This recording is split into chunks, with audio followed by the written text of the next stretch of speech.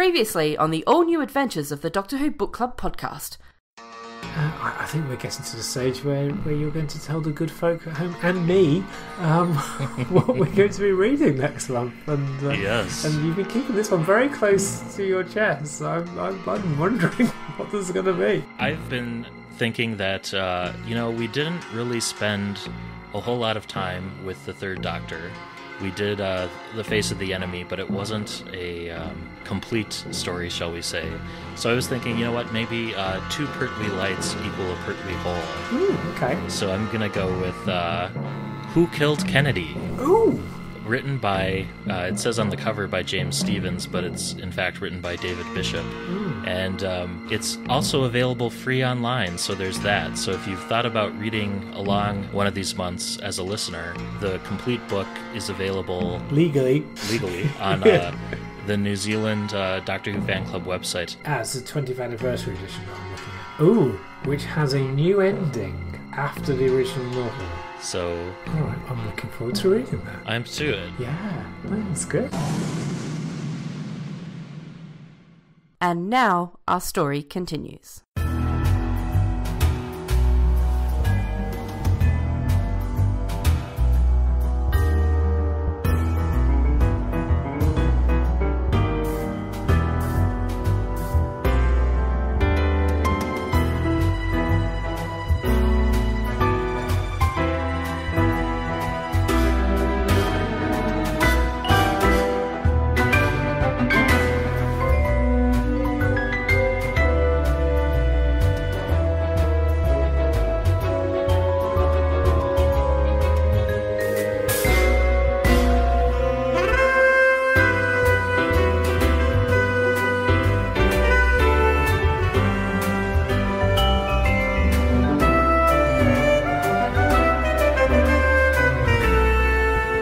Welcome, everyone, to the all new adventures of the Doctor Who Book Club podcast. This is Matt in Minnesota. Chris in South London.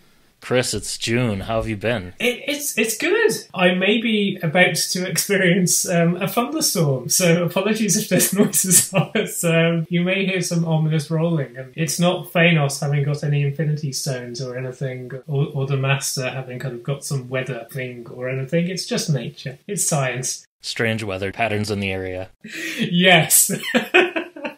oh, I miss strange weather. That was one of the lovely things about about classic era Doctor Who. They don't seem to experience that so much in the modern day. Not quite as often, but every No. once in a while. Yeah. Yeah. Oh, Um, dearie dear. Yeah, no, it's it's it's it's good, and uh, it's good. We'll keep it at that. I had a, uh great time at Console Room a few weeks ago. I've got some uh, shout outs later on in the podcast to uh, listeners that I met in person, so stay tuned for that. Oh, brilliant! Got some book news to share uh, since we've last met.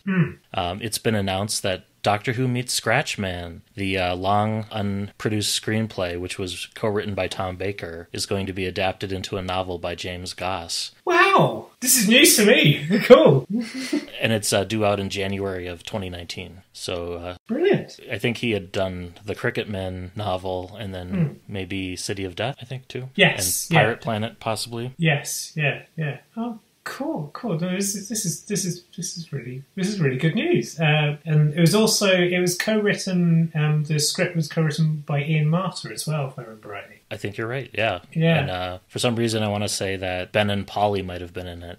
Or Oh wow. Okay. oddly, yeah. Yeah, because I, I I know next to nothing about it apart from Tom Baker was assuring everyone that it was a brilliant script, but then again, Tom Baker wanted to have a cabbage um, travelling with him, uh, so he might, his idea of brilliance might be slightly different from other people's. A couple of other books have also been announced. There's going to be um, a few reprints on July 19th, and I'm guessing that date was chosen for Comic Con. We've got Borrowed Time from 2011. A new version of that's going to be published. This is by Naomi Alderman. And then that's an 11th Doctor Amy and Rory book. And that'll be joined by The Triple Knife, which collects three of the shorter Doctor Who stories by Jenny Colgan into a single volume. And both of those have new covers. And then uh, in terms of new fiction, we have uh, 12 Doctors, 12 Stories. So formerly known as 11 Doctors, 11 Stories. And it's going to be republished as uh, 13 Doctors, 13 Stories. That's coming out on November 1st and includes a new tale by Naomi Alderman, so the author whose book is being republished, uh, with the 13th Doctor. Um, so that's set for November 1st. I think that we talked about last month as, as being a potential pick sometime down the line. Yeah. And then, um, in addition to that, there's going to be three books published in October. Um, I like that they're getting back to publishing three books at a time, and all of these are going to be with uh, the Thirteenth Doctor, and that's uh, Juno Dawson's The Good Doctor, Stephen Cole's uh, Combat Magicks, and Una McCormick's uh, The Molten Heart. So exciting! Yeah, yeah, very exciting. Uh, I am steering clear of reading the synopses for any of these books because I remember I first encountered Captain Jack as a character mentioned in a synopsis to the forthcoming Doctor Who books. I think it was in late 2004 when they announced it. I was like, really? Oh, okay. I want to be as unspoilt as possible going into the new series. Uh, and Chris Chibnall seems to be doing his best to ensure that uh, that's it. Because that is not a ship that's leaking at all. There's certainly thus far, or certainly at time of recording, there's precious little information coming out, which is nice. Yeah, very, very much so. It's it's like when when the uh, Chibnall submarine surfaces, we get an occasional bit of news, and then it goes back under. Yes, yeah, no, it's, it's cool. So, shall we? Shall we do show and tell? What would you like to show and or tell this month? Well, this month I wanted to share that I w- recently got a letter published in Doctor Who magazine's Galaxy Forum. This. This was uh, issue 525, the very same issue that introduced the new Time Team. And it was a uh, three paragraph letter about the new Target novelizations. They only published the first paragraph, which is fine. And what they did publish was uh, slightly edited, which was a little bit stranger. Um, I think, in an effort to make a stronger point, they added a reference to um, Malcolm Hulke's Invasion of the Dinosaurs, which I have not yet uh, read, but there you go. but yeah, that was uh, exciting and then strange, and then I, I think I think I'm in a good place with it. um, it wasn't the first time that I've been in DWM. I uh, got some blurbs published every once in a while back when the original version of the Time Team was going on. Oh, cool. They would publish kind of pithy comments from readers in the sidebars, and I got a few of those in. But uh, yeah, so in the uh, Time Team issue, uh, there's a little letter from myself. Yes, it's also yeah, probably the least controversial thing. Yeah, But uh, yeah, yeah. If if you're upset about the new time team, then you should have bigger concerns in this world, given everything that's going on in it. You shouldn't be complaining to DWM about about trying to make the time team audience sort of yeah, younger. I just Yeah. ah, younger and more representative. These these are things we should be doing, people. yeah, agree hundred percent. Oh dearie dear, I was so angry when I discovered all that. That- About the whole kind of fury, and I was just like, "This is not something to be furious about. There are worse things in this world." What uh, do you have for show and or tell, Chris? So we went off to a trip to the theatre. In the audience, I saw a guy who was wearing a Sylvester McCoy jumper, just as something to wear for a night out, which I thought was interesting. But this is not the focus of my story. So last night, um, we we went to went to a festival, a music festival, uh, and uh, as is our want, and we were standing a little bit to the side from the kind of like the maddening throng, and vaguely near the VIP area. And um, out striding through the VIP area came this bloke in a hoodie um, with a kind of like a little posse behind it. And my wife sort of turned to me and said, "Yeah, look at him thinking he's all that." Uh, and um, as he walked past, we went, "That's Matt Smith." and uh, yeah, and, and sort of in the back of his little posse uh, was his partner, and I was just like, yeah, that's definitely Matt Smith. Uh, so uh, yeah, and uh, later on, I, I was kind of wandering over to the bar, and near the bar was a, a chair copter thing. So you know these things where everybody gets on the chairs, all gets lifts up. It's like a theme park ride type thing, or fun fair ride, rather. Uh, and I heard a ruckus going on. Uh, and uh, I heard this guy sort of say, uh, one member of staff saying, "Will you please all just keep still?" And uh, I looked up and I could see that it was Matt Smith's party that was getting a little bit of a dressing down. And, and then our eyes met, and I nodded, he nodded, and I went on my way. and uh, it's lovely, lovely. You've had a cool. doctor encounter. Yeah, yeah. I mean, we did not speak, but we just we just looked and exchanged glances, and uh, I was just like, no, I, I, I recognise you. No one else seems to, but I mean, the hoodie was hoodie was almost as if, like stuck on. But yeah, yeah, no, it's it's, it, it's good, and it's, it's also nice that he was able to kind of you know to sort of mingle and everything, and that he was not getting harassed, and he's able to live a normal life because I mean, he does like his music. Um, So um, yeah, it- it's good to see him. And I also um, a friend of mine has seen him um, once or twice in sort of in, in pubs, uh, and uh, yeah, and he's just sort of a normal guy. And so, and, it, and it's lovely that he's able to do so. Do you remember who was playing on stage at the time or who he was there to see? Yeah, so he he wandered out through um, the Yeah Yeah Yeahs. Uh, so I think he was there to see LCD Soundsystem. Oh, nice. Uh, yeah, yeah, because he does like that kind of thing. I mean, he's a big fan of Alt J, so I seem to remember him uh, in interviews lecturing Jenna Louise Coleman on her taste of music being appalling.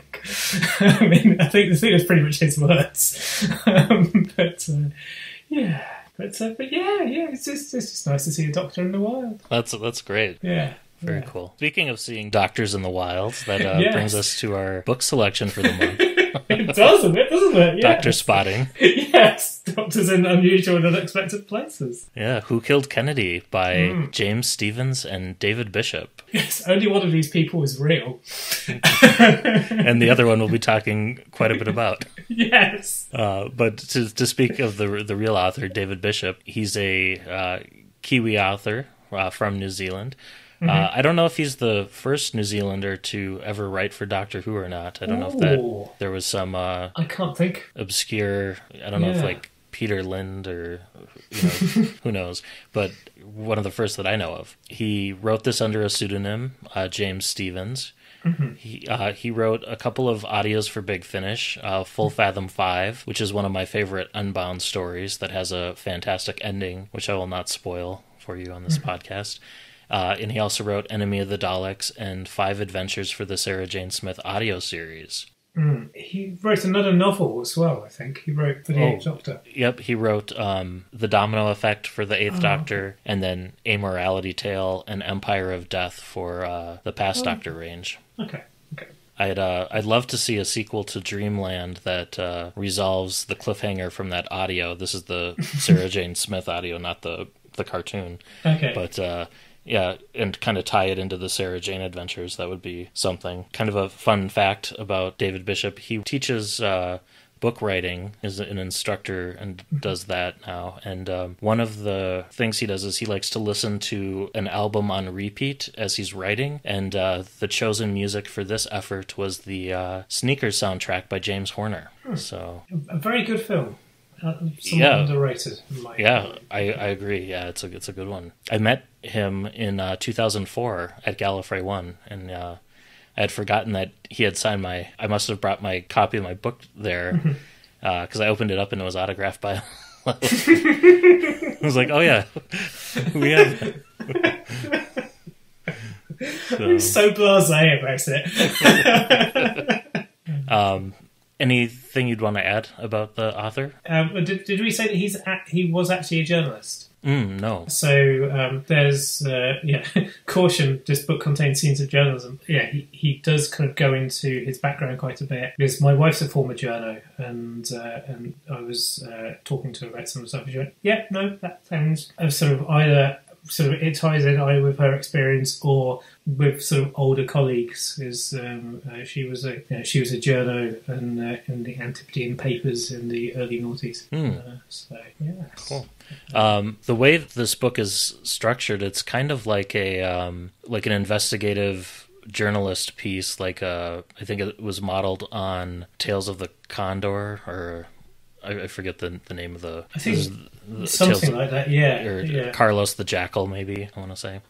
There's there's some book that was modeled after, as well as the uh, Alex Ross and Kurt Busiek effort uh, Marvels, which chronicles a uh, an investigative uh, photojournalist kind of looking at the events of Marvel comics, like the big New York City invasions and stuff, like from the outside in.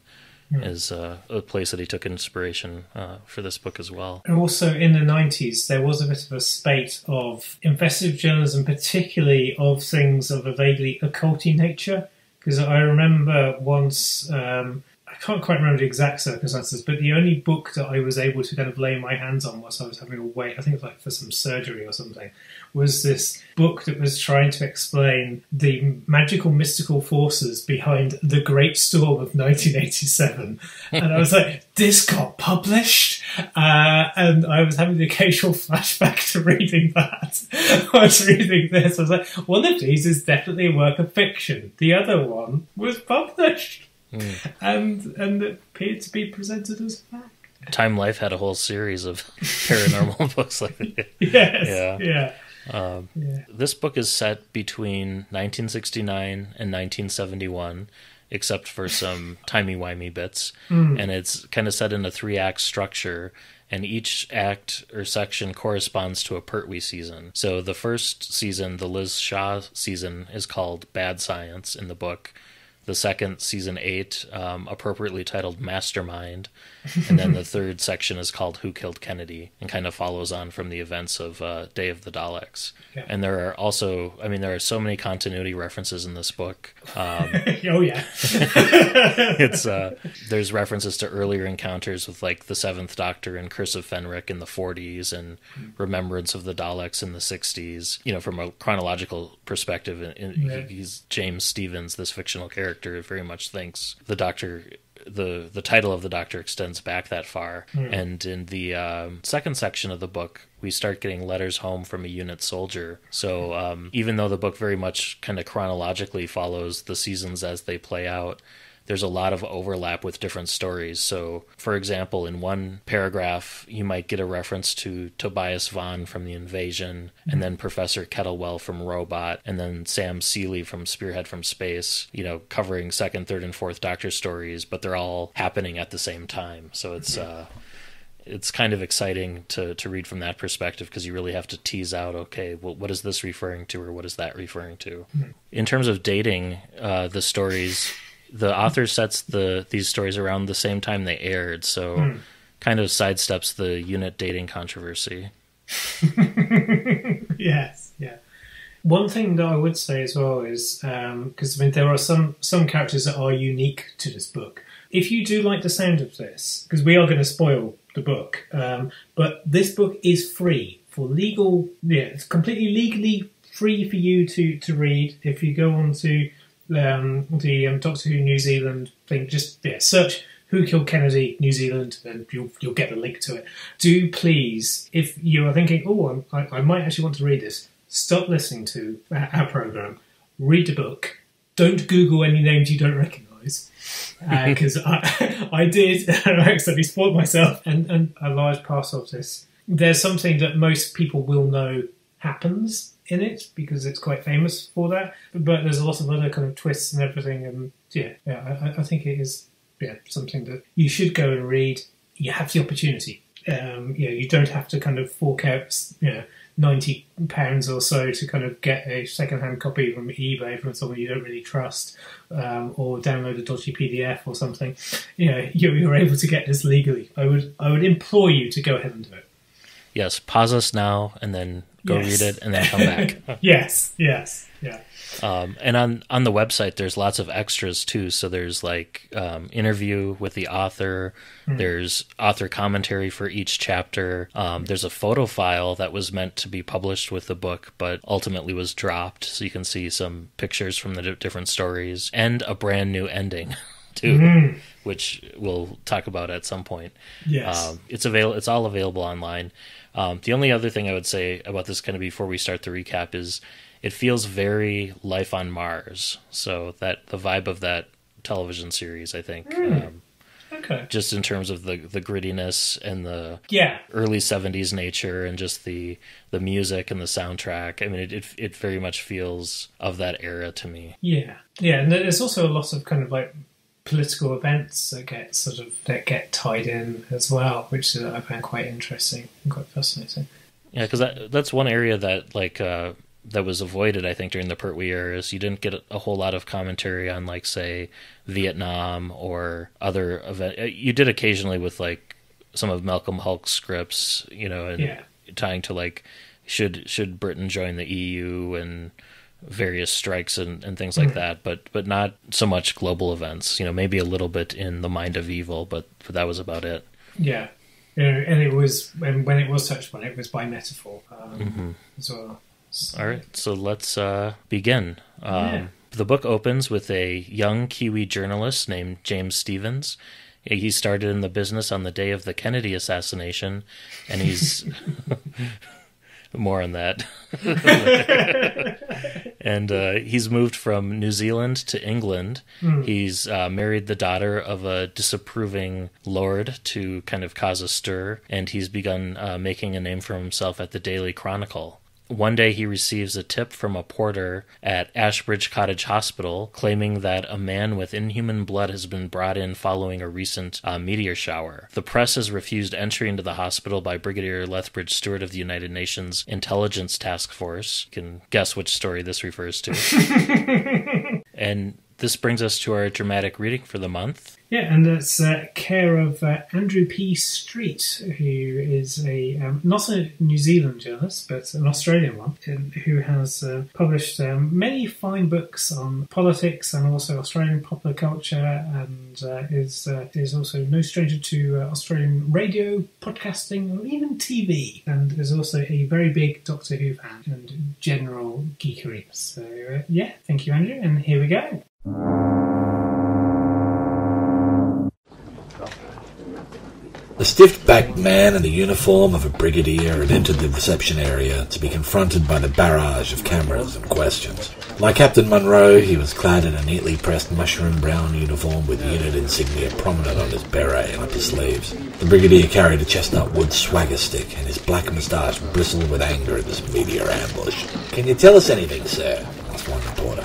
What about? Is it true there's a man from space in there? The brigadier snorted disdainfully. Nonsense. I don't know where you get these stories. Is there something odd about him? I know nothing about a man from space, he replied evenly. I decided it was time I got a question in. Then why are you here?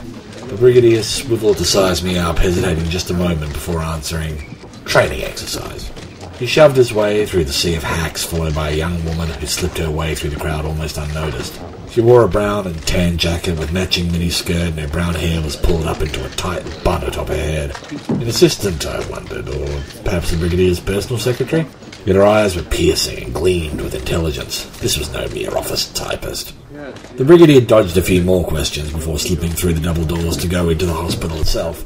The assembled media were left scrabbling around in reception, trading ideas and trying to talk the story up into something significant. Theory was that the mystery man had found one of the meteorites and had either been injured by it or else was refusing to reveal its whereabouts to unit. Either way, the man with inhuman blood from outer space angle was going to be hard to back up without any solid proof.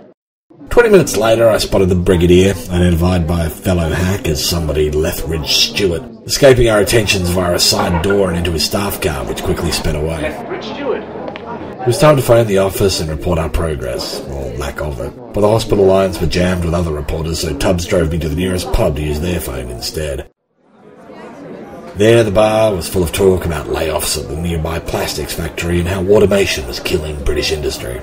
I jammed a finger in my spare ear as I tried to get through to the Chronicle. The chief reporter called us back to the office. Much of the story had already been splashed across the front of one of London's afternoon papers, the Evening Standard. Unless I could come up with a new angle, my piece was likely to be buried down the news pages. All right, and that was the press conference from Spearhead from Space. And uh, Stevens returns to London to kind of write about the government cover up of the meteor shower. Uh, and he ignores the drunken man he be- meets in the bar, uh, Sam Seeley, who claims to have found one of the thunderballs. And when the book, when the story is published, he finds that all the mentions of Unit have been removed from the story, um, but he receives an anonymous call uh, and the person on the other line is commending him on his work and claims that there's still a lot more to tell about the story. But before Stevens can follow up, London is crippled by the events of Black Tuesday, which is a terrorist attack in which um, hysterical members of the public report seeing window dummies come to life, and he uh, forgets about the mysterious call for the moment. So one thing I was going to say about um, the about, about kind of like the start about how um, James Stevens, yeah, he, he he's he works on the day of Kennedy's assassination. He's to come in. It's his 18th birthday, and he gets sort of taken in um, uh, as a kind of like a, as a treat by I think it's by his dad, isn't it? Um, and that echoes with my wife's um, um, journalistic history to an extent. She, she'd been kind of working quite late and has kind of gone off for have um, an early night, one weeknight in September. And this was September the 12th in Adelaide, uh, September the 11th in America. And her mum let her sleep through, didn't wake her up. And she kind of woke up and was like, the biggest story of my journalistic life has happened. Yeah, and she, she by the time she got into the newsroom, they'd done everything that they needed to do um, for that day's paper. Um, but it, it, it, did make me kind of think of that because kind of you know Stevens is, is kind of you know the Kennedy assassination has such a huge impact upon upon him and his life, of which we see a lot more later. But it was it was this interesting, just kind of like this this echo with with my wife's experiment. Uh, Hmm. But uh, yes, so very self indulgent, but, so, but uh, yeah, yeah. That um, reminds me of I, it was a there was a quote a Kennedy quote. See if I can find it here. It's it's in the commentary on the website. Something about the past um, rushing forward into the future, and Yeah, like there's not really a present, but it, it seemed somewhat applicable to that story. Yeah. But I can't Yeah. find it. yeah, Oh well. yeah. Um, Yeah, yeah. So, so we've had this um, um, this this mysterious call that Stevens is forgetting about, and um, a little while later, a mysterious plague hits London, and, and particularly Waterloo, a station that I often go to, uh, and, I, and I think of at the events of the Silurians. uh, and uh, Stevens uh, receives a call um, from that anonymous source of his, directing him to a research centre on Wenley Moor. And uh, Stevens calls the centre and is surprised when the phone is answered by the mysterious Brigadier Lethbridge Stewart, who hangs up when he realises he's speaking to a journalist. And, uh, and this this very scene you can watch in Doctor Who and the Silurians. So, uh, although the plague is quickly contained, uh, Stephen has become intrigued, and so he decides to have a little bit of further investigation when he spots the Brigadier in the background during a broadcast about the return of Mars Probe 7. And uh, whilst he's interviewing Ralph Cornish of the Space Centre about British scientific development, Stevens questions him about the impact that the um, death of Tobias Vaughn has had on the scientific community. And Cornish refuses to answer, directing him instead to Vaughan's former associate Ashley Chapel, or better yet, Unit, or Department C19, a name that seems to cause Cornish some concern even as he mentions it. In Stevenson's private life, he's kind of yeah, he, he and his wife are, um, are, are having a bit of a difficult patch, and uh, and then he um, well, I was going to say romantic encounter. I don't think it's there's a lot of romance involved. He has an encounter with a redhead that, uh, who picks him up after, at a party uh, after he's had his story on the Wenley Moor Institute published. hmm. Uh, but yeah, yeah, and, The reference to Ashley Chapel is Hmm. from uh, Craig Hinton's Millennial Rites. She, ah, she was a character, a unit character from that. okay, Um, okay, and C19 Hmm. that does get a mention in the in the actual Doctor Who television series in Time Flight of all stories. um, it's kind of like the offhand reference to the Braxiatel collection in City of Death. Yeah. Um, but then C19 is picked up and used in a handful of novels, um, most notably Gary Russell books. And there's a, a blonde C19 agent that appears in this novel that is seen again in uh, The Scales of Injustice. So there's some, um, overlap. Yeah, yeah, with that. Stevens begins to kind of probe into Unit's true nature and, and its agenda. He starts to get harassing phone calls and death threats and visits to his home from agents of uh, C19, uh, including the blonde agent that we just mentioned who's in uh, Scales of Injustice. And he refuses to bow to that pressure and keeps working on his story, collecting evidence from those whose paths have crossed unit in the past. Um, he meets with Isobel Watkins, uh, who's a photographer, but he dismisses her claims that uh, Earth was once invaded by robot men from outer space.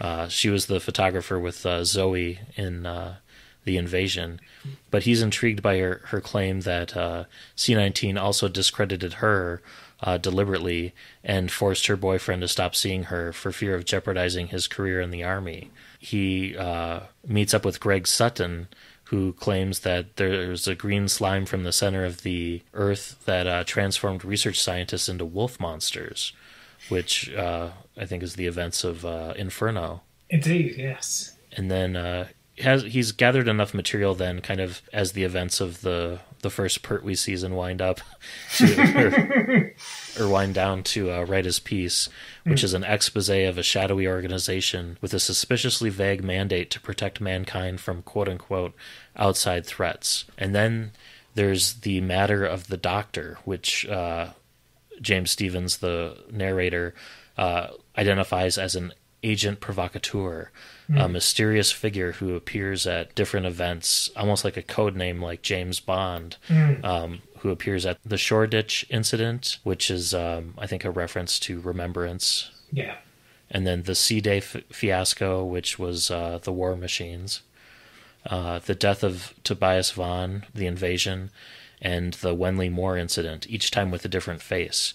And he also notes that sometimes the different doctor agents are operating at the same time. He says that uh, the second doctor, who he calls the Gatwick doctor, uh, the events of the faceless ones take place concurrently with uh, the war machines. So you have two different doctors in different parts of London at the same time, battling two different things. 1966 was a bit, it was busy. It was a busy summer. We, we had the World Cup on, and we had C Day, we had the Daleks are sniffing around, faceless ones. It was busy. That's what happens when the Doctor regenerates mid-season. yes, yes, yeah. we we also get an interesting detail about C19 that they morphed out of uh, countermeasures, which was the group from uh, the Shoreditch incident, uh, Captain Gilmore, which I think Big Finish has a whole series around uh, audio adventures around them now. Yeah, uh, and there's also when, when they're talking about the countermeasures group, there's oh I forget her name now. It's Rachel, isn't it? Um, So the the um, the younger blonde member of countermeasures, uh, she um, leaves in disgust fairly early on, which I I haven't I haven't listened to the Big Finish, so I don't know. Um, I suspect that that probably doesn't happen.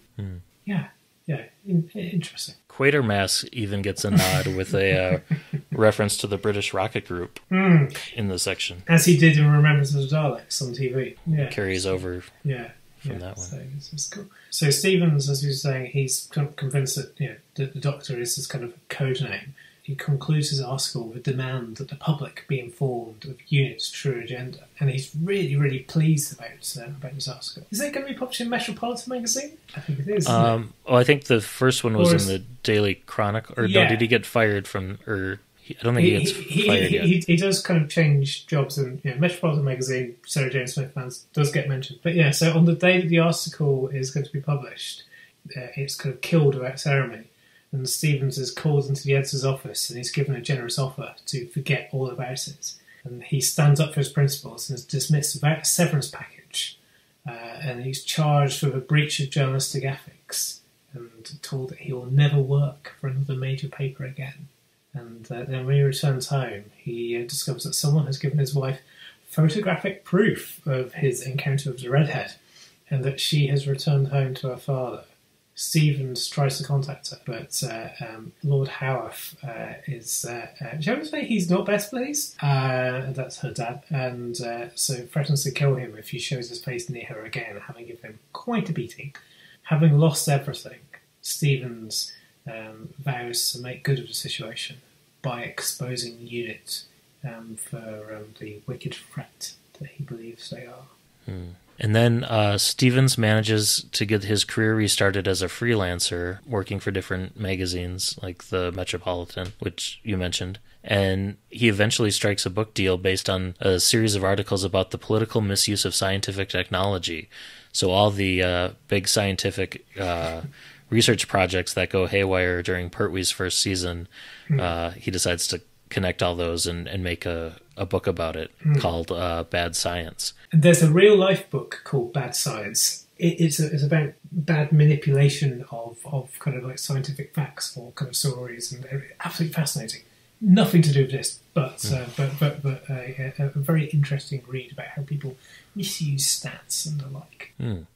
Bad Science was going to be the original title of this book Ah, okay. before Who Killed Kennedy, before they decided to add on the, I guess the the JFK elements were were very much a late addition, um, and we gloss over one earlier, but the book does open with kind of a presentation of an alternate history of you know what kind of a thought experiment of what would have happened if JFK had survived, and the implication is that throughout his first and I think into his second term, the world situation gets much more volatile, and um, it was probably the wrong course of action for him to have lived because it would have er, results in um, or a nuclear exchange with uh, with Russia. Yeah, it's quite chilling, isn't it? Um, part of the reason why uh, sort of things deteriorate quickly after his uh, attempted assassination is that the attempted assassin is found to be uh, wearing kind of Soviet uniform, and it does make you kind of just think just how close we must have come at that point.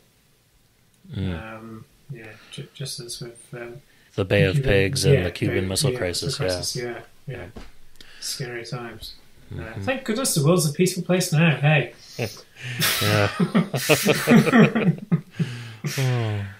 Um, um, so the royalties tied him over while he writes a second book, and he's still fascinated with the legend of JFK. So he writes a speculative work suggesting what might have happened if the president had lived. He continues to collect evidence about UNIT, planning to write a third book which will expose the organization and its secrets.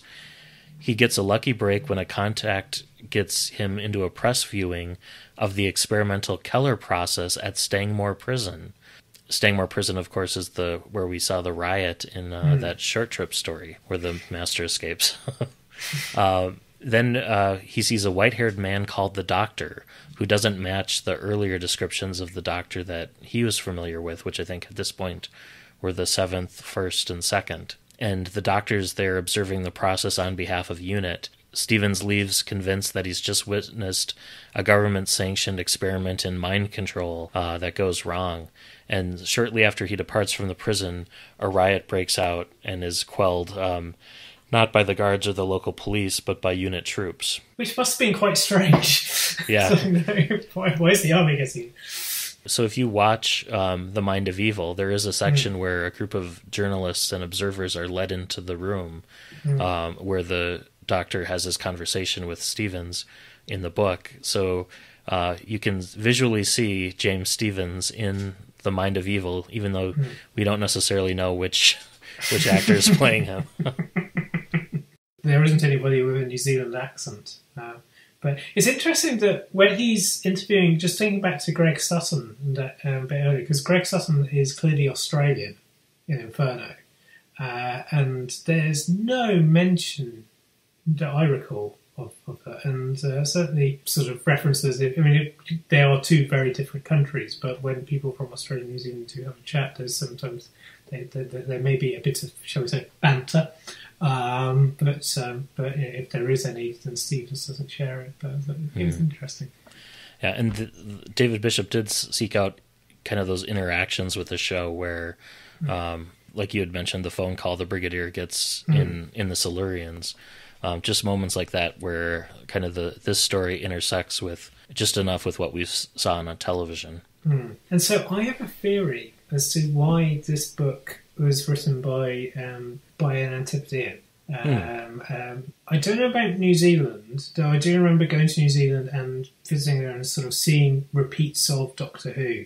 Um, but certainly in Australia, it got repeated quite a lot, and certainly, yeah, and Doctor Who rarely got repeated up you know, here in the UK.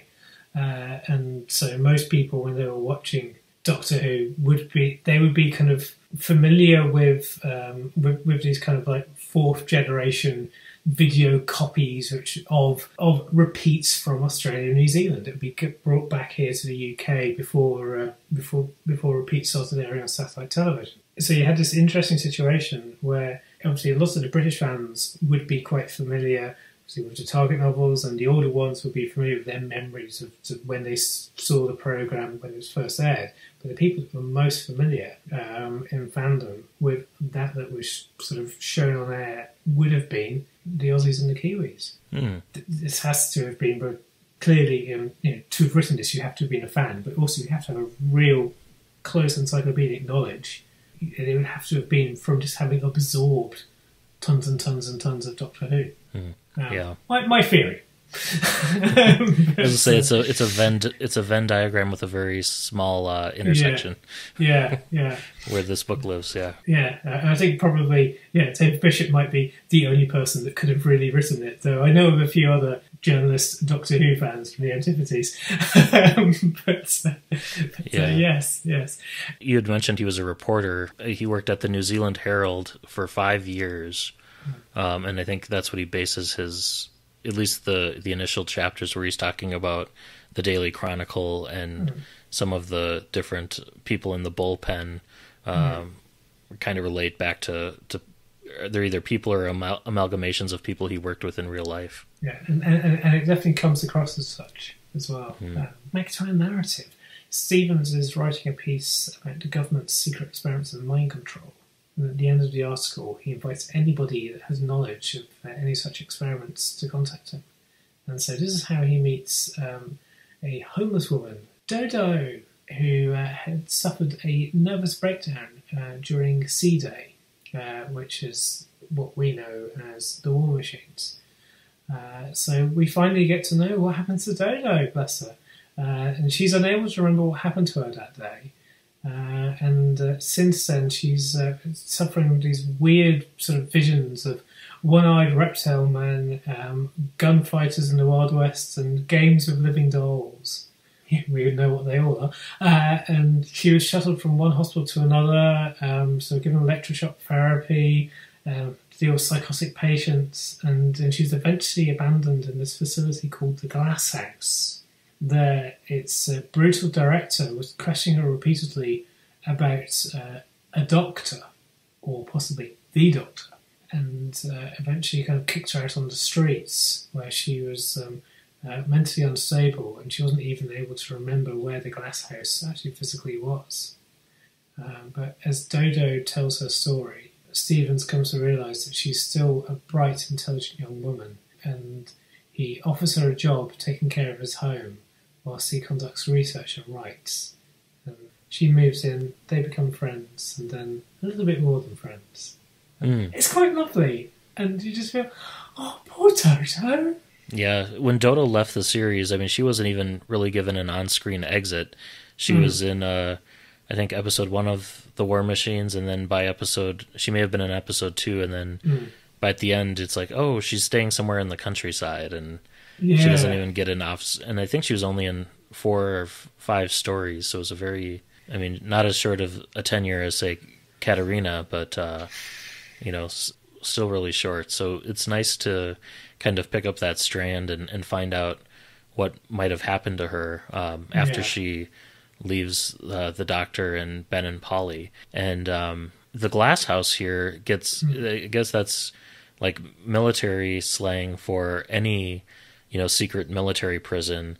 Um, here it has more of kind of like a hospital connotation, but um, this the glass house is also referenced in several um, new and missing adventures, and I think even in some of the Eighth Doctor and Past Doctor adventures. So I think it may have been introduced here first, but yes. it yeah, I think it is. carries on. it. Yeah, yeah. Um, yeah, the Glass House um, features in Skeleton Justice, um, book that we referenced earlier, as, as well as uh, appearing quite a few other Doctor Who fiction. so at this point, Stevens, uh, the narrator, continues to work on his expose about UNIT, and he eventually lands an interview after much persistence with Professor Elizabeth Shaw, who once worked in an advisory capacity for UNIT. She's not able to answer most of his questions, though, because of the Official Secrets Act, partially because she doesn't think that Stevens would believe the answers if she, she told them. Uh, and she's also worried about Department C19, which is keeping her under observation. Stevens leaves that interview empty handed, but then he's beaten senseless by uh, the blonde agent who tells him to stop messing with C19. Sometime later after that, the terrorist Victor Magister, also known as the Master, is arrested following an incident in the village of Devil's End. Uh, Stevens learns about while he's watching TV with Dodo. Uh, they're watching uh, BBC Three, the recently launched channel, which uh, was still hadn't really been launched at that time. No. Um, I think that didn't come until the '90s. Uh, later than that, uh, um, Naughties, and it is no more. It, well, it's, it's on it's on uh, it's on the internet now. So you go BBC One, BBC Two, BBC Four. Home of Class. yes. Although Torchwood originally debuted on BBC Three too, I think. Yeah, yeah, I think you're right. Then uh, the Master's arrested following what happens in Devil's End, so the events of the demons, and the media becomes saturated with stories of uh, Victor Magister's supposed terrorist gang who are blamed for everything from Black Thursday through the plague outbreak to the failure of the World Peace Conference. So the media conveniently blames everything on the Master, even though he really wasn't involved in Series 7. So unlike the media, isn't it? the um, government chooses to have like a public trial where the, the the trial's broadcast, and Stevens is invited to appear on a television program uh, discussing the controversial decision and about having a public trial. And then he takes that opportunity while he's live on air on BBC Three to accuse both Unit and C19 of using the Magister as a scapegoat to divert attention from their own incompetence and corruption. And I think it's one of the first times both Unit and C19 have been mentioned on air anywhere. Um, and because of that, uh, later that night, his house is firebombed when uh, both him and Dodo are, are inside it. And as they're trying to escape and get to safety, he's attacked by that same C19 agent who tries to kill Stevens with a revolver. Uh, Stevens fights him off and reports the incident to the police. Uh, he goes into the New Scotland Yard, and while he's in there, uh, the police turn him over to C19, uh, and, and then he gets beaten unconscious in a uh, in an interrogation cell at the police station. Yeah, yeah, it's it's it's quite it's quite chilling stuff. But also, you were saying about life on Mars earlier. Um, yeah, there there, there, there were um, uh, how should we say? Certainly, there's been a lot of kind of um, scandals and exposés over the years about some of the antics of the police in the seventies, and uh, yeah, it, it doesn't feel completely unbelievable. Uh, yeah. Uh, so anyway, One interesting tidbit about Liz Shaw Mm. in all of her appearances um, in this book, she's smoking out of a pipe. yes, yeah, she, she's a very keen smoker in this, isn't she? and uh, that was something that Caroline John had suggested that she do on camera in series seven, uh, which was nixed by the producers at the time. But then um, in the BBV Probe series that she did in the '90s, she was always seen smoking a pipe in that. so.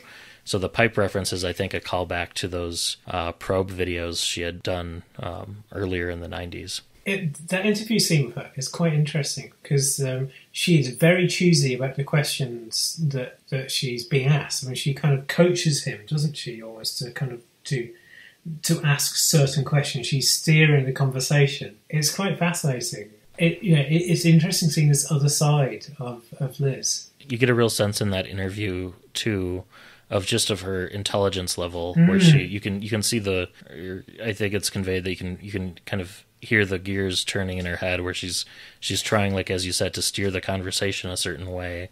And she's being very clever and careful in in the words she's choosing. I've always enjoyed Liz Shaw, uh, and uh, I think she's one one of the most underrated companions of the classic era, and partly because you know she's she's not in that many stories, um, but uh, but here I mean yeah, this is I think one of the most interesting portrayals of her. She really does come across as you know, uh, even though you don't find a lot about her, she comes across as as you know, a fully fledged person. I, I feel.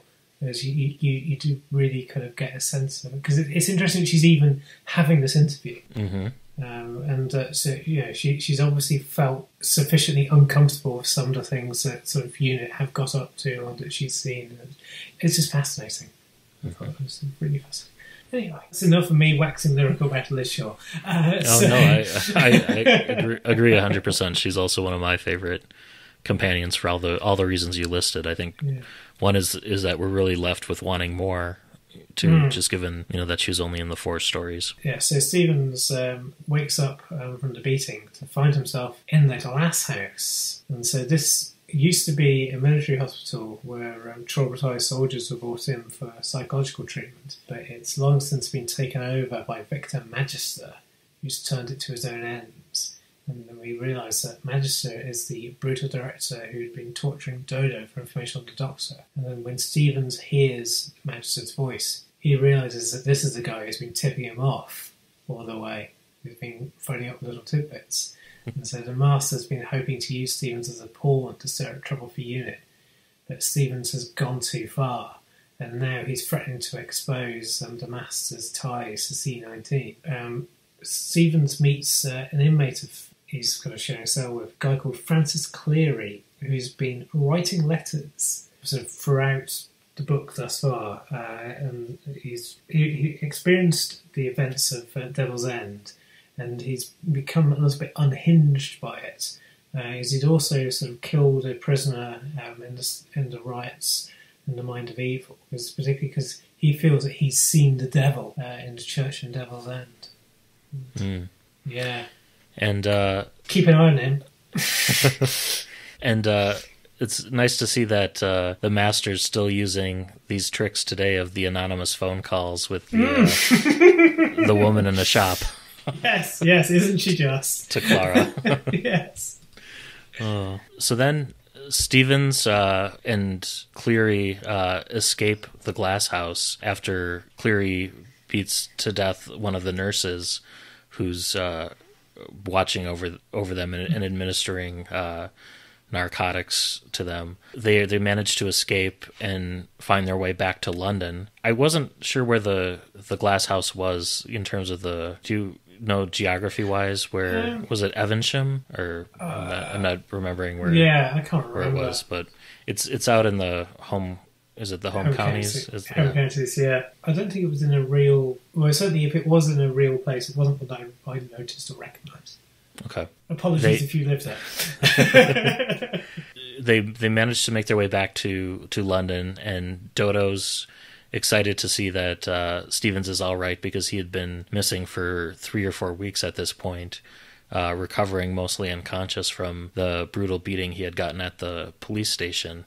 Um, Stevens reaches out to his friend Vincent Mortimer, who is a TV producer working for BBC Three, and arranges for a special edition of The Passing Parade, which is the same show that was uh, profiling Devil's End and the demons. Um, but they, they want to go back to the glass house to expose the, the secrets of it and kind of do an on camera kind of reveal of the glass house, not unlike uh, kind of the tabloid journalism of uh, I want to say, was it Al Capone's Vault with Geraldo in the 80s, where uh, they make this big showing of finding Al Capone's vault on television and they. okay. They have like a two hour special and they open it up and it's empty.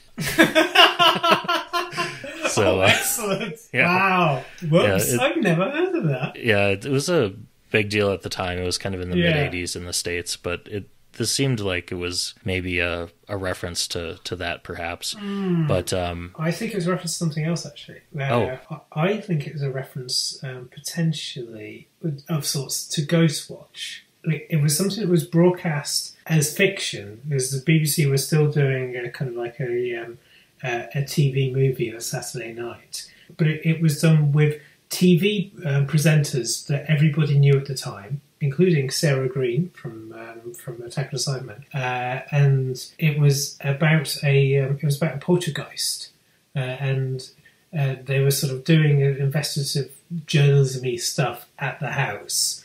Uh, and then you had Michael Parkinson, who's a, kind of a very famous British presenter, uh, was in the studio in London as suddenly kind of some of the craziness from the poltergeist suddenly started appearing in television centre.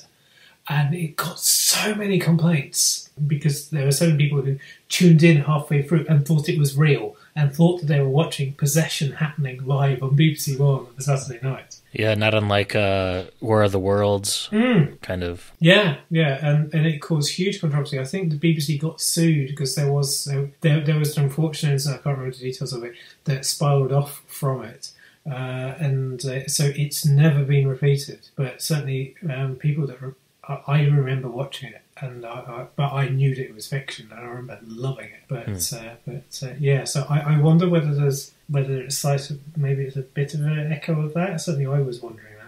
But, uh, Um, so while they're leading the camera crew to the glass house, the soldier, the unit soldier Cleary, uh, he remains in the studio and he starts rambling about having a mission to save the world by preventing a good man from dying. And he mm-hmm. wanders off set when the producer cuts away from him. And then the stunning conclusion of the program comes when, you know, Steven leads the crew to the doors of the glass house and they find everything inside has been stripped away. And not only that, but there was a clever layer of dust added to everything to uh, make it look like it's been abandoned for years. So this makes you know James Stevens kind of humiliated live on television, and kind of ruins the career of the BBC producer he had reached out to. And he returns home to find that in his absence, uh, Dodo has been murdered. And he comes home to a very gruesome scene yeah. He was you know his alibi of course was that he was live on television at the time so he's absolved of her of her crime but uh, Eventually, yeah eventually. Yeah. but um, he sees an odd metal ring on the floor recognizing it as uh, belonging to cleary. So um, he knows that cleary was was there and and probably was the one who had killed dodo cleary must have been under the master's influence all this time and to make matters worse it, we find out that dodo was pregnant when she died Um, Yeah. Poor Dodo. yeah Poor Dodo. This um, we should mention. I mean, this is this is a crystal clear example of unfortunate trope of uh, called fridging, where uh, protagonist's uh, girlfriend or wife is killed under you know really gruesome circumstances, and that acts as like a catalyst or motivation for that character to continue in the story. This is a pretty textbook example of that trope, unfortunately, but. Uh, yeah, I've I've got more more discussion on on Dodo later later, but um, Yeah. uh, yeah, just wanted to to mention that here though. Yeah, and, and it's notorious in Doctor Who fandom as well. Is um, the um, the Doctor Who books had got a reputation for you know, um, grisly deaths befalling um, former friends of the Doctor. But I mean, this I mean, even though, I mean, I'd never read this book until we read it for the podcast. Uh, but uh, yeah, I knew that this happened. Didn't know the exact ins and outs of it, but uh, yeah, it was just yeah, it, it, it's it's very well known for it. In fact, I think I think it gets mentioned what, in the first paragraph of the Wikipedia entry for the book. Yeah, But, uh, um, yeah, there's also kind of a misnomer or a belief that still persists in fandom circles that you know that Dodo contracted syphilis in the books and that's what she died from. And that's just simply not true. She contracted an illness in The Man in the Velvet Mask which uh, could be described as like a sort of space herpes. But uh, yes, it could be contracted through drinking water or consuming contaminated food. And she lived from that and she was cured from that. And then completely separate from that she's murdered in this book by cleary uh, working under the ma- the master's brainwashing. Um, and mention of syphilis doesn't occur in either novel. So um, i'm not sure where exactly that rumor first came from. Radio free Skaro. But um, uh, it it uh it's it's not true, and she uh yeah they're completely unrelated events that that got kind of conflated together. yeah, but but a, a, certainly a very traumatic and short life for poor Dodo. I just just feel so sorry for her. Um, Yeah. but yeah, so Stevens, um, emotionally shattered, um, spends um, spends a week at a seaside resort and he's just he's just an absolute despair and devastation until um, he sees a TV report uh, um, indicating that UNIT is providing security for uh, another one of those uh, World Peace Conferences that seem to happen in Britain quite bit in the seventies, um, and uh, this one's over at Auderly House. Uh, so uh, yeah, no problem guessing which story we're about to reference here. so um, determined to find out the truth about UNIT uh, Stevens heads over to expose uh, Brigadier Lethbridge Stewart by any means necessary. Uh, just as he gets there, he sees the delegates being evacuated, and then when he tries to get closer, he's attacked by this weird, monstrous, ape-like being, and then he's saved by the Doctor.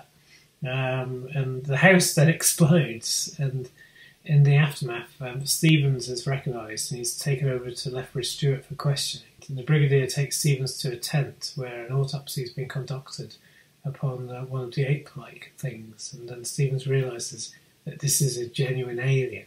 It's an Ogron. Uh, so uh, yeah, it's talk about grisly detail, but like the you know, the blood oozing from it, and it is yeah, it's quite very much like some of the um, the '90s sort of uh, alien autopsy type mm, mm-hmm, mm-hmm. Um, which uh, was clearly the vibe we were going for here.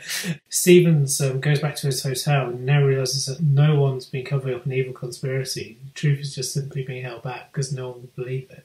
And uh, all the time Stevens thought that he was crusading for the truth, he was being manipulated by um, the Master, causing trouble for an organisation whose only agenda is to protect the world from outside threats. And so now he rather grimly concludes that his life's been destroyed, his lover has been murdered, and he's got absolutely nothing to show for it. Hmm. He uh, then becomes suicidal, uh, mm. and he's got uh, the revolver from earlier. Just as Stevens is about to kill himself, he gets a memo, like a telegram, delivered from the doctor.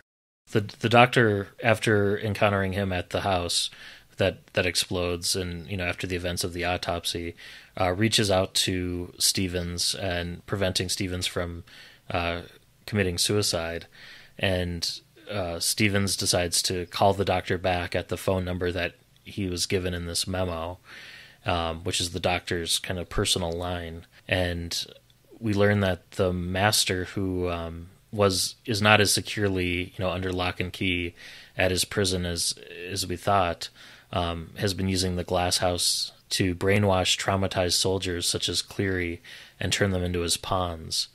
And um, the ring that uh, Stevens found, it turns out that that's a time ring, not unlike what we saw in uh, Genesis of the Daleks mm. in, in, that season. And um, the Master intends to create an army of time traveling assassins to kill important historical figures and shatter the structure of the space time continuum. And Cleary was kind of one of the, the prototype in this in this army and is, is the first one and is um, going to to kill Lee Harvey Oswald, thus preventing the assassination of President Kennedy, which could potentially cause enough ripples to, you know, disrupt the Doctor's time on Earth and potentially even erase the Doctor from existence.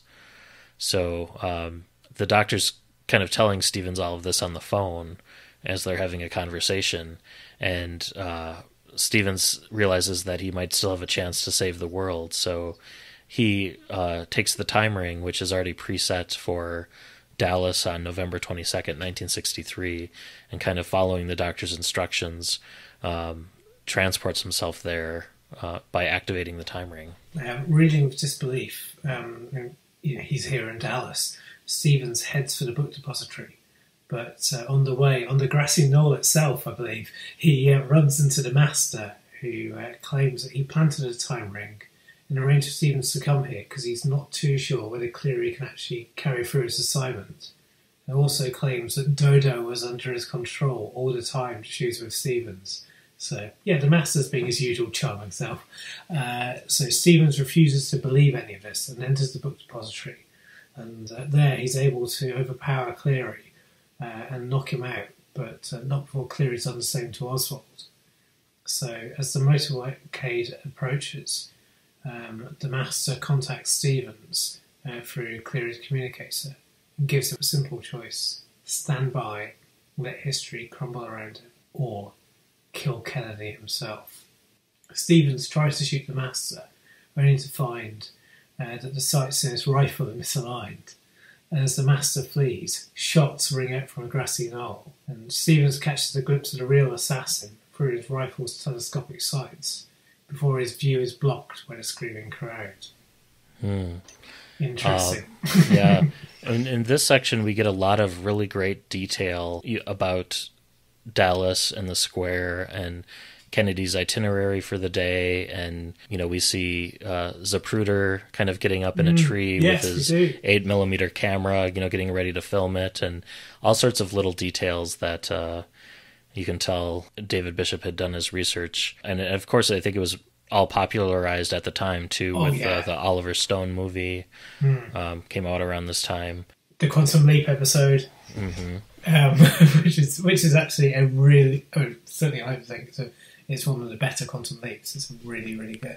What do you think about the Master's revelation that Dodo was under his control the entire time? I know James Stevens doesn't want to believe that, but it would explain why Dodo didn't recognize the Master on TV. You know, Um, it would, but I just choose not to believe it. I just because I just feel sorry for Dodo. and yeah, yeah, I, I, I, I whenever the master is saying something, I always kind of uh, work on the basis that the master is telling telling lies. Um, but but yeah, I mean, certainly, I mean, it, it's it's very well researched. It reminded me as well of have you read eleven twenty two sixty three, uh, the Stephen King novel? I haven't, but I've heard good things about it. Mm, it, yeah, it's it's very good. I'm not a big Stephen King fan. That, that- that's a brilliant novel, and and it's yeah, sure, it's obviously touches upon you know, know more than touches upon events of, of, of kind of Kennedy's time, but it, it tells a, its own really brilliant story, and uh, I think if anyone listening to this has enjoyed Who Killed Kennedy and haven't read that book, then I, I, I, I suggest that they do so. Hmm. It's uh, certainly, for my money, one of the better Stephen Kings that I've read, which is not a lot. the master in this in this scenario he's um if so if you look at the zapruder film he's the mysterious man dressed in all black holding a black umbrella standing on the grassy knoll which is a real person in history uh Yes. that that bishop in the, in the narration you know replaces with the master. So i, th- I thought that was really clever. And um uh, you know it ends with this odd revelation that you know, S- Stevens catches a glimpse of who the real assassin is, and um, it, it also ties in with the telescopic sights were misaligned because the the first shot that goes off from Oswald's gun, um, you know, misses entirely due to the misaligned sights, and then Yeah. the the conceit here is that the two remaining shots, rather than coming from Oswald's gun, instead come from this mysterious figure hiding behind the fence on the grassy knoll. We later find out who that is, but um, Yeah. so at, at this point in the book, who did you think it was going to be? Because I I had a couple of ideas as to as to who it could be. Yeah. I was thinking it was either like another version of the Master potentially, or perhaps the Third Doctor, Yes, that's what I was thinking. or even I, the Seventh Doctor. I was thinking it was going to be a doctor, but yeah, because like you could imagine, you could imagine the seventh. But yeah, speaking of, of the seventh, there's there's a magical little scene that we that we kind of skipped through when we were talking about Stevens' kind of post Dodo despair, because um, he he has a has a funeral for Dodo, which he's the only mourner because uh, it's all because so very few people knew her, um, and he's at the graveside and. Uh, he meets a small, dishevelled man with an air of sadness, um, and um, who lays a um, um, like a, a white flower uh, on Dodo's grave. And it's not it's not stated that it's the Seventh Doctor, but it just feels like it is. Mhm. And, and it's a rather beautiful scene where he, yeah, he's just the Doctor's kind of showing compassion for Stevens, and it's just oh, I was thinking it was the Seventh Doctor as well. The author in the commentary for that bit says that it's either probably the second or the seventh Doctor. Um, the dialogue certainly points to it being the seventh Doctor, but the author said he likes to think it's the second Doctor um, just because it's you know much more close. I think you know to when he would have traveled with Dodo. Um, Yeah. But I just don't think the second Doctor could really steer his TARDIS properly like that, No. unless it was maybe the six B Doctor. Yeah, but also the Seventh Doctor was all about tying up loose ends, wasn't he? hmm It felt it, it feels very very Sylvester McCoy. It does. So then, after this revelation of you know Steven seeing who's behind the the fence, he drops the rifle, and so you know Oswald is unconscious at this time, and he's starting to wake up. So history can resume from that point, and then uh, Stevens grabs uh, the unit soldier Cleary, and they travel back home with the time ring, leaving Oswald to his fate. The time ring gets them both back in one piece, but it looks to be probably unusable at this point. Cleary suffers brain damage on his return trip and is taken to the hospital, um, leaving Stevens with no proof of this incredible story. But he's lets it go at, at this point. And in the years that follow, um, he slowly puts his life back together, starts teaching journalism, um, educating students such as uh, Ruby Duvall, who is in Iceberg, and Sarah Jane Smith. I didn't.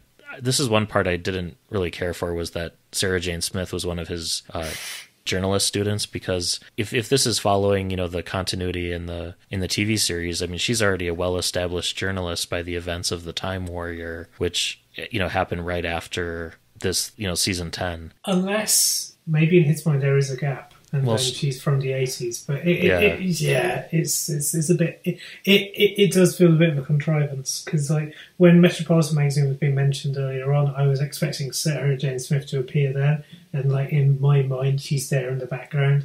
Um, Mm-hmm. Yeah, it does seem a bit odd. And also to shoehorn uh, Ruby Duvall, who is very much a footnote in Doctor Who, into this. I was just like, uh, yeah.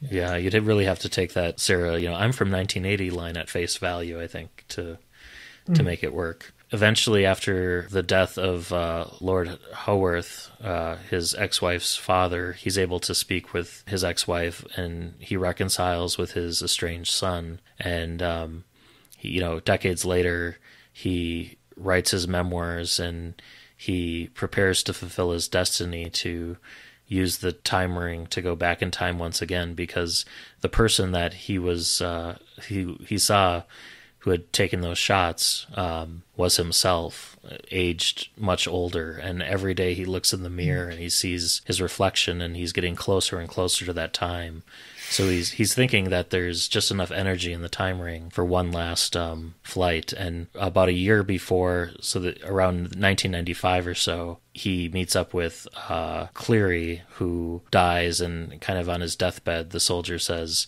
who's been in and out of hospitals his whole life. He has kind of a moment of lucidity, and he says, you know, please write this down and share the story and tell what happened and his mother at that point gives uh, Stevens the letters. So the book ends with, and again, this is the the published paperback version. The book ends with uh, him getting ready to take that final trip back, and the person that kills JFK is in fact the author James Stevens himself. But then, yeah. But then we have a we have a new ending. Mm, we do, we do. So if if you've not read the new ending, then again, this is another moment where I suggest we put things on pause. If you think, oh yeah, no, I remember the book. Yeah, you don't remember this bit. Yeah. Um, Yeah. So before he's getting ready to, you know, travel back and, you know, the ending of the the book as written, and then he is going, you know, he's tidying up loose ends. He he knows this is going to be a one way trip, so he's getting all his affairs in order, and he um, comes across the phone number from the doctor one last time. And he looks at it and he decides to call it because he remembers something the doctor said to him about it was kind of a transitional line where the third doctor is saying, you know, I used to think that history can't be rewritten not one line, you know, referencing what the doctor told Barbara in the Aztecs. Uh, But the, the doctor is realizing that, you know, m- maybe only certain fixed points in history are unchangeable. So, um, Stevens is thinking there might be a little bit of leeway there. So he calls the number and he calls again and he calls again. And I think it's eventually he has to call for something like 19 times a day for five straight days. And then the phone finally picks up and a gruff Scottish voice comes through the other line. And uh, it's uh, Peter Capaldi. it's uh, the he's calling the twelfth Doctor, and the twelfth Doctor says, "Meet me at Dodo's grave tomorrow." And so uh, James Stevens goes to Dodo's grave, who which is at this point you know been overgrown from decades of uh, neglect. As he's kind of cleaning up the gravesite, the Doctor appears behind him. So then the doctor talks to talks to Stevens. He learns, you know, about what he saw. Stevens implores him to, uh, you know, is is there another way? Can we can we can we change it? And so the doctor decides to give him a chance. And the doctor takes a sonic screwdriver and modifies the time ring, you know, asking him very clearly, okay, when and where do you want to go? So rather than traveling back to stop the master's plan in 1963, he travels back to the day of the events where Dodo is murdered, and he, you know, while he's live on air by the, at the Glass House, this older version of himself goes to his apartment, uh, finds Cleary, uh, shoots and kills Cleary in a struggle in a fight, you know, to try to take the gun away from him, and um, fatally injures himself in the in the process. So the younger Stevens comes home from the Glass House, and rather than finding uh, Dodo murdered, you know, she's very much alive, and he sees the elder version of himself who warns him, you know, don't touch me because of the Blinovitch limitation Mm-hmm. effect. And uh, the Twelfth Doctor had warned Stevens. He said, you know, if you use this time ring again, it's going to disintegrate, and you will be lost in the time wind. So, rather con- conveniently, he takes the he you know kind of throws himself over Cleary's body activates the time ring and uh, the body disappears and Stevens and Dodo are able to have the happy ending that was denied to them previously. So that's who killed Kennedy. Yeah. Um, with complete with the new ending, which really does reverse the the ending of the book. You know, it, it creates a, a happily ever after scenario. I do think that um, does introduce some new continuity paradoxes, though, because um, by not by Cleary dying in 1971, you know, he didn't visit Cleary on his deathbed in '95, didn't promise to write the complete manuscript, didn't get the letters from his mom after the funeral that were included in the book. Um, but he still has a f- copy of the completed manuscript, which the older Cleary had kind of gone back through time and handed him and was like, read this. So it feels a bit like a bootstrap paradox, but it's not, it doesn't completely line up for me because I suppose he could have gotten the letters from the mom some other way, or maybe I'm just thinking about it too much. Well, but also this is a book that references Day of the Daleks, which suffers from the exact same problem, mm. or it's a similar similar problem. So uh, yeah, and so maybe, maybe the thinking is if it's good enough for Day of the Daleks, which is yeah, which is very fondly regarded in fandom. One of the things as well that's quite nice about the 12 Doctor section is that at one point he sort of he, he wonders whether this is kind of Missy up to her old tricks, and so I was thinking, when is the Twelfth Doctor? Because this book was written before Capaldi's last season was aired, but I'm wondering, is it when Missy's in the vault? uh, I think it would be after Death in Heaven and like Yeah, around the time of Asylum of the Daleks, where you have that you know that big gap where the Doctor learns guitar and does the tank stuff, Yeah. and uh, it's when it's meant to be, but I do Yeah. wonder. A little bit of me did kind of wonder whether it was involved. But also, it was this wonderful kind of shock of somebody reading, going, "Oh, Capaldi." it was it was it was great. I read the 20th anniversary edition, and, and it was just yeah, it, it was it was wonderful seeing that. bit. Like, right, well, clearly this is definitely the new stuff. We're in new material here. So uh, yeah. So what do you make of it? oh, uh, I mean it was it was a it was a great book. Um, I liked it a lot. Um, I thought it was unique. It was imaginative. I liked how it wove a story like in between the cracks, so to speak, of the Yeah. the Third Doctor era.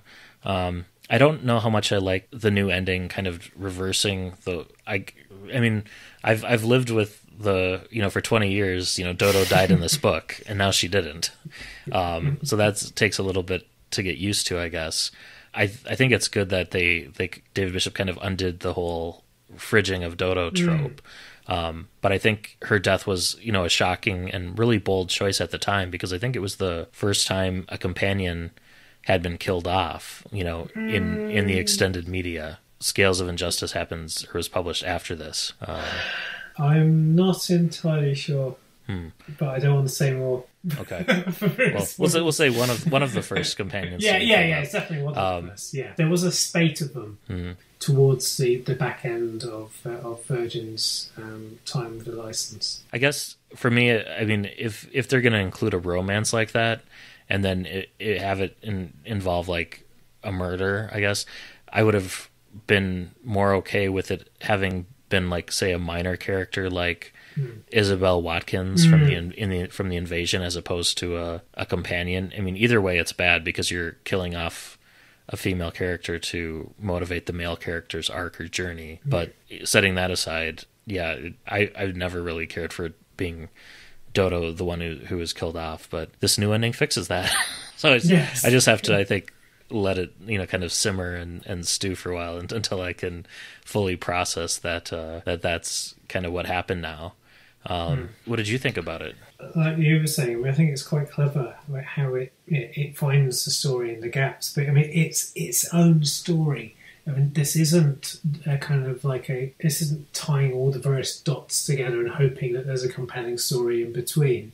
Um, you know, this isn't continuity for continuity's sake. It it it does manage to tell its own compelling story that I think could be read as a compelling science fiction novel in its own right without necessarily any real knowledge of unit. Um, I, I think you could you could put this in the hands of a non-fan. it was certainly one of the first Doctor Who books I had read, and I, you know, didn't have access or regular access to the internet at the time to look up every single reference when I read it. Hmm. So, kind of reading it as someone who had just come in with the TV movie and maybe read, say, one of Peter Haining's books, hmm. um, I was able to to follow the plot.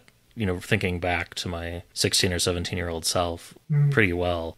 And in revisiting it 20 years later, I enjoyed it just as much, if not more so, especially knowing kind of how it weaves and dips in and out of different stories and, and pulls them all together well at the same time, like you said, being its own unique thing. Yeah, it was always fascinating for me when you see the Doctor through other people's eyes, and uh, and here you're seeing not just the Doctor, you're seeing Unit, you're seeing all, yeah, all these various kind of characters just from from other people's viewpoints, uh, and and it, it's it's quite fascinating. Just make you think. It's quite yeah, um, I, I yeah, I, I, must say I really enjoyed it. If you were going to rate this one, how are you going to rate it? Ten, 10? Really? ten, yeah, 10 out of your first 10. yeah, my first Wow. ten, yeah. I am gonna give it an eight out of ten. I guess I'm gonna I docking it slightly. Um, one because of its pacing. I think it's marred maybe slightly by having to follow the story beats of the different televised stories, so you get into a bit of a predictable pattern in the narrative Yeah. where the journalist is stumbling into the events of each story. Then they get threatened or chased off. Then it's kind of rinse and repeat, um, except for the demons, which he watches play out mostly on TV. Um, and then I'm also deducting a point, I think, for the treatment of Dodo with as a plot device, which, to be fair, the new ending does fix. But um, and I am glad that the new the new ending exists. But um, yeah, just those those two things took me out of it a little bit. But um, yeah, I mean, it's a really solid eight um, for me. I mean, I think for me, because I knew that fridging was going to happen and that I'd known about it for what, 20 odd years, um, I, I, I'd kind of like come to terms with it. Yeah, as you were saying, clearly it's a bad thing. But um, yeah, it's different from because there is a major media story, and I'm just going to be very careful with my phrasing on this. Uh, and and also, Matt, this isn't. I'm not necessarily talking about the movie that I've seen that you haven't. Um, so, um, in which a fridging happens, and I was like, oh, in 2018, you shouldn't be releasing a movie in which a fridging happens, to, you know, to, to empower the hero. Uh, and and yeah, yeah, ah, yeah, yeah. Here, I just because this is something I've always associated with this novel. If anything, I, as, I was expecting it to be possibly grislier than it was, or something maybe. Um, so uh, yeah, and it just it did add this poignancy that when because I didn't know that uh, that Dodo and Stevens would become lovers, but uh, the Dodo was like, "Oh no," because I know what's going to happen. So yeah, at least I thought I did. So with the with the with the new ending, does that Hmm. would you say it enhances your enjoyment of the story or Yeah, I think it Okay, does. okay. I think it does. I think it does. Yeah. Yeah. um, Yeah. I, I think I'd have still given it a ten, even Even without Yeah, because. I just I because I was just reading it, I was just thinking, I don't know if yeah, I was just like, it wasn't because I was itching to give a book a ten, but I was just kind of thinking, if I don't give this a ten. What am I going to give a ten to? Because I came Mm. so close last month Mm-hmm. with Voyager. But Mm. yeah. yeah. Yeah, because there's lots of lovely nods to British political history and various other things. There's, there's sprinklings of, of various facts, and so it was, it was yeah, it, it it was done. It was done with love hmm and, and clear passion for the material. and it's extremely well written and, and Hmm. engaging too and there's there's so much to appreciate in it and lots of little fanish details and kind of nuggets to pick up and enjoy. Um, i would love to see a new series version of this with like say a blogger following kate lethbridge stewart. Um, we get a taste of that with clive and rose and with, and with uh, linda in love and monsters but it'd be really cool to see a book written kind of like this David Bishop had some ideas for a sequel because this one only goes up to the events of Day of the Doctor, but he had researched far beyond that. Um, he originally wanted, and this is I'm taking this from some of the the interview material on the New Zealand fan site, but he had mentioned that he had wanted um, the book to originally span 25 years, but it really only covers two years of kind of real time on Earth because once you get past the unit years, um, very little happens which has any noticeable effect on Earth, you know, from a global scale. You know, maybe like the events of the 10th planet and maybe Battlefield, but not a whole lot from like a global catastrophe sort of thing that's that's on the news everywhere. Yeah, it's true. I guess this was originally going to be a missing adventure set sometime between the War Games and the Sea Devils. Generally, missing adventures are set between stories that are next to each other, but this, you know, that gap spans three and a half seasons. And uh, one other tidbit from that interview it says, according to his royalty statements, uh, just over 13,000 copies were sold. So that's kind of an interesting indicator of maybe how many Doctor Who fans there were you know, kind of like the hardcore fans in the wilderness years, like down to around. Um, I mean, I'm sure there were more than that, but yeah, it- yeah. it's, it's uh, interesting to. There were also there were people that were, were not reading the books. I knew quite a few fans at the time that weren't, and also there were people like me who I mean I was always a bit choosy because you know I was it was my pocket money.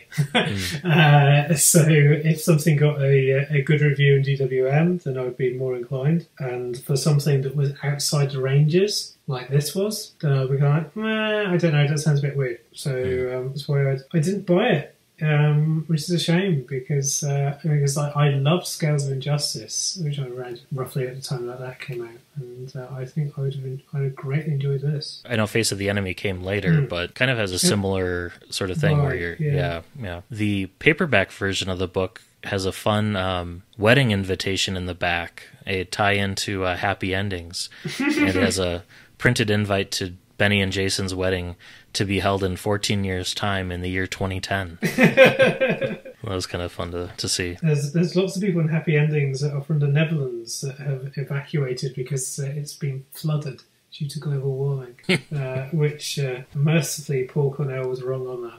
the book ends with the doctor saying he's the third doctor saying he's going to uh, pay the master a visit because it doesn't it sounds like his island prison isn't as secure as the doctor thought and i think that leads into uh, the sea devils Yeah, when you think about how many stories the master was in you have to wonder how many different simultaneous schemes he has going on in his mind like like is he you know as he's standing there with an umbrella on the grassy knoll is he thinking about his uh, alliance with the sea devils yes. Yeah, is, is he already planting seeds with the Ogrons um, and uh, and stuff for Frontier in Space? He's a busy guy. It, yeah, yeah, yeah. Or gal. Yeah, well, yes, yeah. And, uh, I, and I can never go past the circus without looking at it as um, we, we are very much in circus period uh, in the uh, in the UK in, in our summer at the moment. And I drove past the circus today, and uh, I found myself looking to see if there are any horse boxes. That looked a bit suspicious. Anything else you want to uh, mention about your first 10 out of 10? And I, I really just enjoyed it so much. I mean, it was it, it was a very good story in its own right. Hmm. That that was the thing that I enjoyed.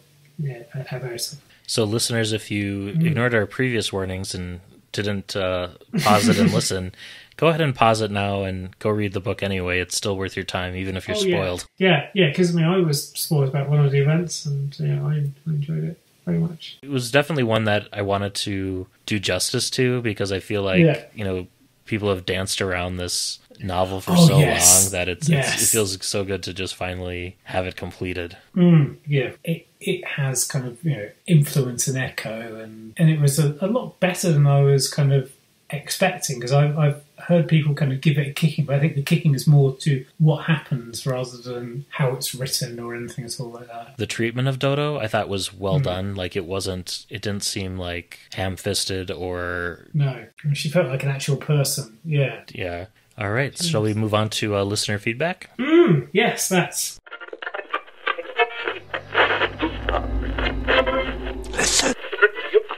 Well, we don't have any emails again this month, but there could be. I could be announcing your name right now.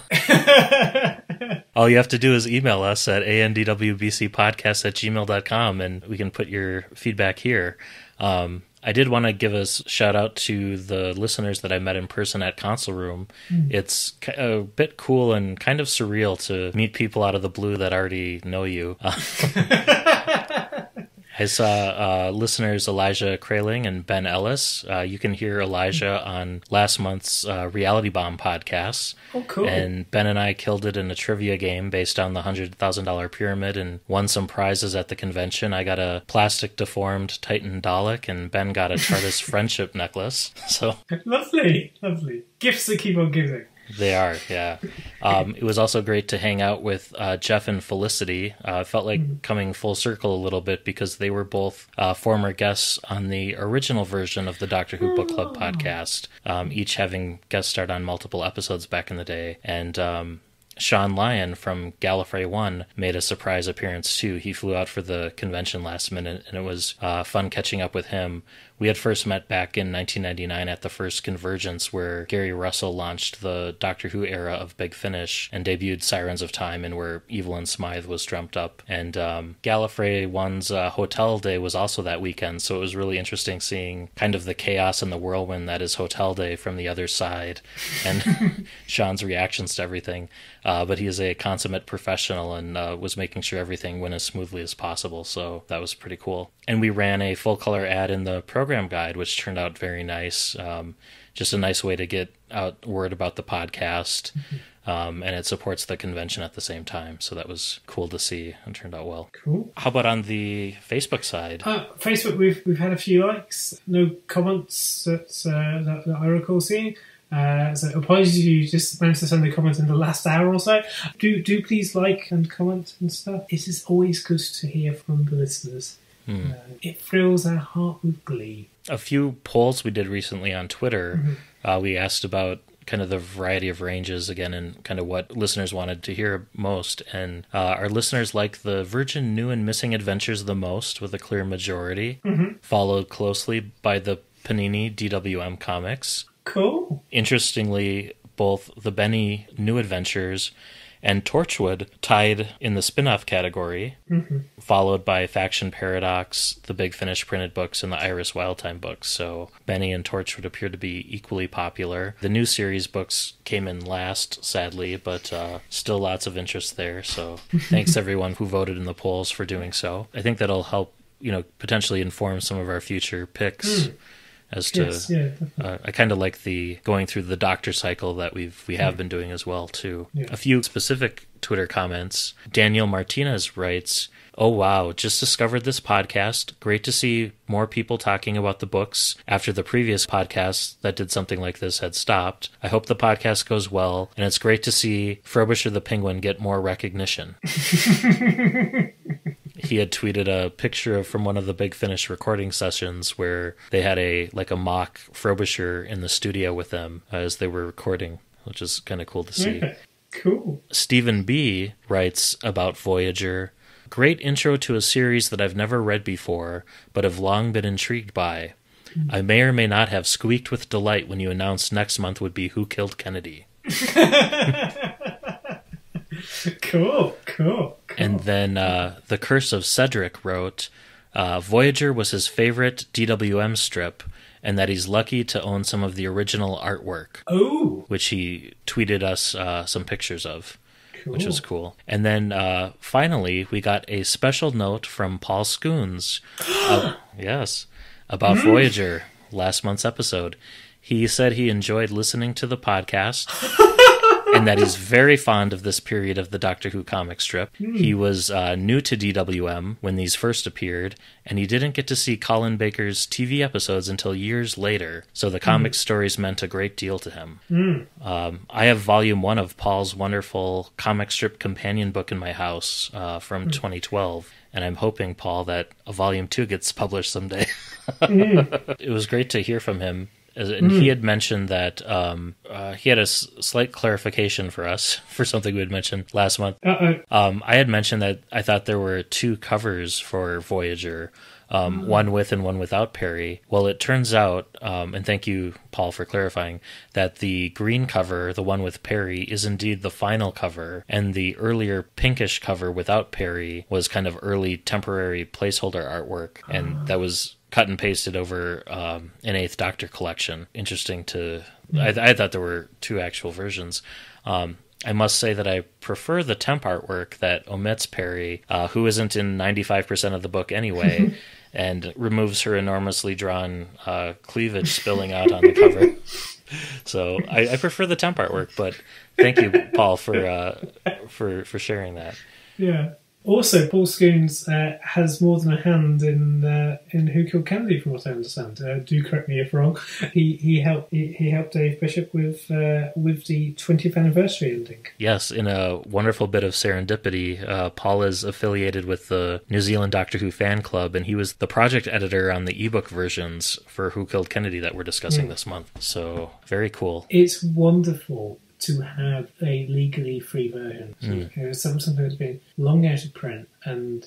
or I, I would just really implore. I mean, if we do happen to have any anybody else listening that is either a published author of uh, of, of Doctor Who book from the nineties or has connections to people, I don't mind if it's free. I mean, putting it on Kindle and sort of and and, and having people pay for it and stuff that, that's also perfectly fine. Um, if, if it's all possible, it would just be great to have these being more available so more people can share and read. Mm. Uh, I, I think it's, it, this, in some ways, is the kind of like the missing episodes, isn't it? Mm. In, in, a, in an odd way, um, because I mean, okay, sure, you can access these books. You know, if you pay, you know, like a hundred quid or so on eBay or something, but it, it's always, yeah, it's just nice to know. You know, go to um, so you know your favorite ebook store, buy it for you know, a sensible small amount of money, and just have it in your device of choice Mm. Mhm. uh, in, in, yeah, in no short order. So I think one of the other things David Bishop did for the New Zealand fan club was publish um, kind of unofficial fan adaptations of some of the missing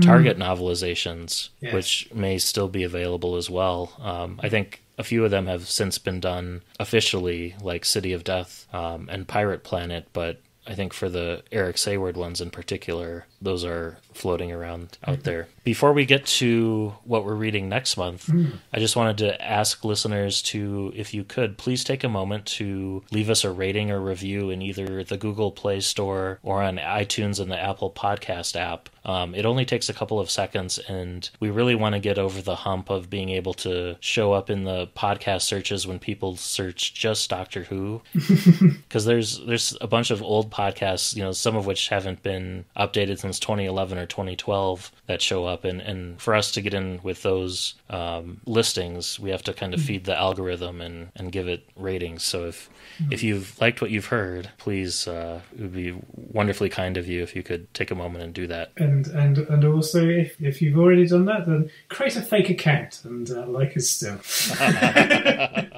or use your partner's account. Yes, yes, yes, yes. yes grab a phone off a small child or local ne'er do well, and uh, maybe don't do that. But uh, Yeah. So, Chris, uh, Yeah. on that wonderful note, what are we reading next month? so so next month, I thought that uh, we should do a Fifth Doctor book because we've uh, Finally. Yeah, finally. so th- this will this will kind of conclude our our cycle through the doctors. So some doctors we've been through more than once. I thought that we should do our first missing adventure because we haven't actually done a missing adventure yet. that's right. We haven't. Wow. No, I didn't realize done- that. Yeah, we've done past Doctor adventures, but we haven't done a missing adventure. So yeah, let's let's let's go and let's join the Fifth Doctor. Let's join Tegan. Let's join Turlough. Let's join Kamelion. Let's go to the Crystal Bucephalus. Ooh. Okay. So, uh, yeah, we, we, we're going to enjoy Craig Hinton's The Crystal Bucephalus. Interesting. Or Bucket Phallus, as he apparently used to pronounce it as the comedy joke. That is the one Doctor Who book that I started reading and never finished. Um, it was, I uh, I read I think I think just maybe the first couple chapters, um, and then just never couldn't tell you why I stopped reading it again. You know, twenty plus years ago or so. But um, huh, interesting. This guys like you were saying last month uh, that Who Killed Kennedy. You hadn't, um, you know, maybe not so much you know for the quality, but just because of the format you're reading The it convenience, on. yeah. never finished it, but uh, same sort of story with me with with this one, except I definitely have the paperback. and I didn't, uh, um, I I like Kamelion. I like Tegan. That's a start. Um, I noticed you're not finishing with the rest of the TARDIS. yeah. Um, if listeners know my thoughts about Leela, uh, to you know, with that and the Fifth Doctor, and uh, yeah, just not my not my favorite Doctor, but um, uh, I'm open to change my opinion. So we'll see what happens. Yeah, we'll, we'll, we'll see how much your opinion has changed Yeah, or solidified. Well, at least it'll be interesting. exciting. Hmm. All right. Well, until next month, I've been Matt in Minnesota. Chris in South London, happy reading.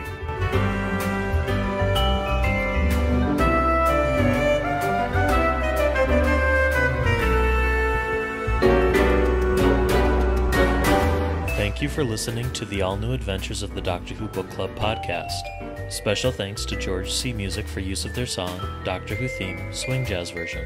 You can follow us on Twitter at ANDWBC Podcast and like us on Facebook. You can support the show by leaving us a rating and review on iTunes. You can contact the show by emailing your thoughts to andwbcpodcast at gmail.com. And until next month, happy reading.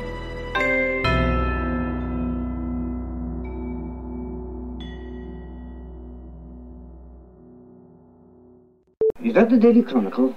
It is. Well, look, uh, my name's Mullins. I'm a porter at the Cottage Hospital, Ashbridge. I, I understand you pay for stories. You do? Well, look, there's something very funny happening up here.